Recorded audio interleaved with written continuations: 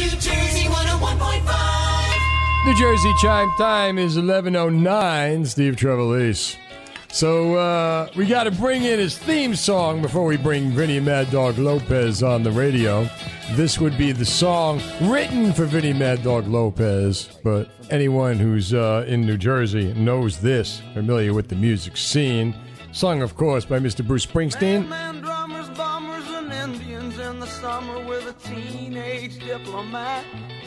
That's pretty much your life story, ain't it? You ain't kidding. Look at you. Look at you. Son of a Rock and Roll Hall of Fame uh, member, Vini Mad Dog Lopez, uh, former drummer from the E Street Band, who's now got an exhibit at Where Music Lives on All right, Cookman the overnight Avenue. thing in three. How about that? I, I that that is great.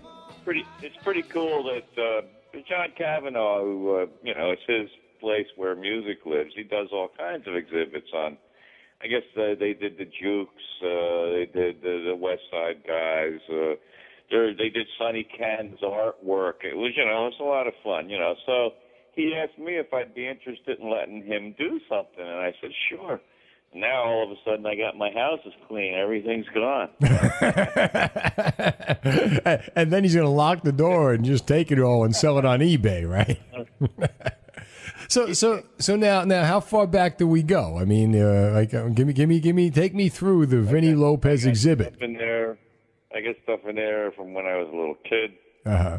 Uh, I got stuff in there uh, from you know probably last week. You know, so it goes it goes away. It goes with the, you know the golf because I caddy. Right. Uh, you know we have a little thing on you know just some stuff you know that I collected through the years. You know.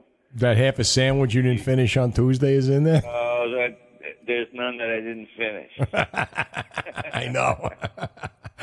so so now so you see like this, thi- I love this. This is great. I mean, this is this really is. So this is now what have you got what are the artifacts you got in there from uh, from the band days? well, my surfboard, for instance, uh, from the band days. You finally got that out of the house, huh? Yeah, it's just pictures of uh, you know of us, Mhm. about us, you know, and that's about it. I think the main thing about the exhibit is like, well, Friday when uh, it opens to the public. Actually, Right. I'm going to be there. Excellent. questions? They ask me. Mm-hmm. You're gonna go right through June, right? It's going through the middle of June. I guess every. Uh, I'm not sure if they're open during the week. I don't think so. No. I think they're open on Fridays, Saturdays, and Sundays. Okay, now you're playing this weekend too, right? Well, we're playing, uh, you know, Thursday night at the at the private thing, and then Friday night, uh, you know, I was just supposed to be me there, and I said, ah, the stuff's set up. We'll play then too. So we're gonna play for like the grand opening too. So who's gonna play? Well, it's myself and uh, Paulie Whistler Uh huh. and John Bryce, and we're called Dog Whistle. Nice, nice. Yeah, and only, only cool, cool people can hear us, you know. they come from miles around. They do, oh, hey.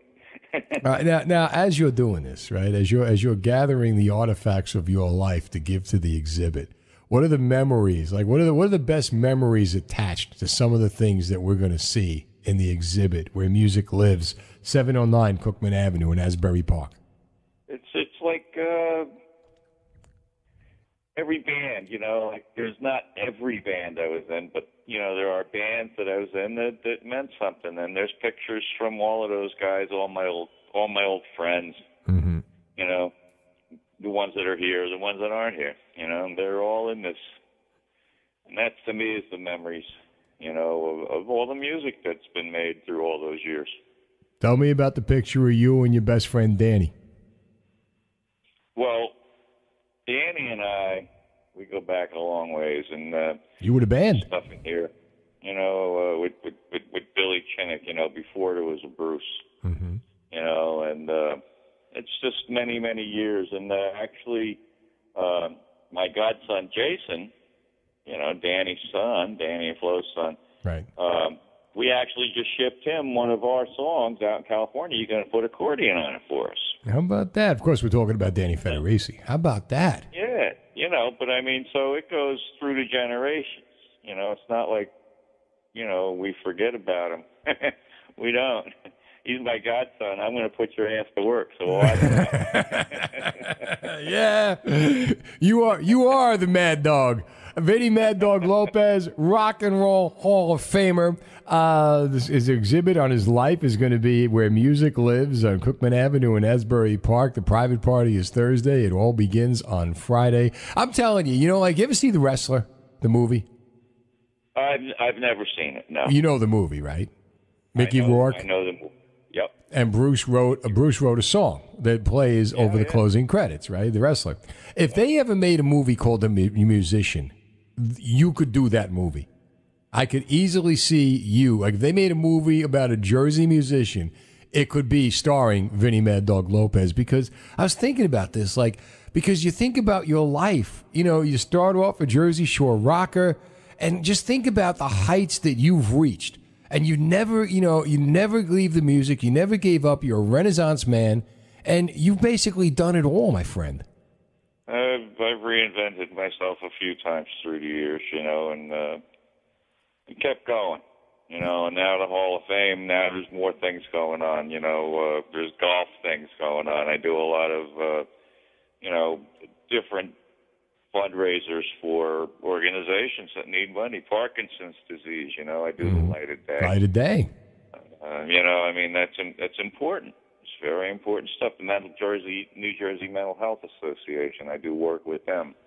You know, I do work uh, with them for to prevent suicide. You know, Yeah, that's great. Sui- the kids, the kids that you know do that. Bullying. I do things for bullying.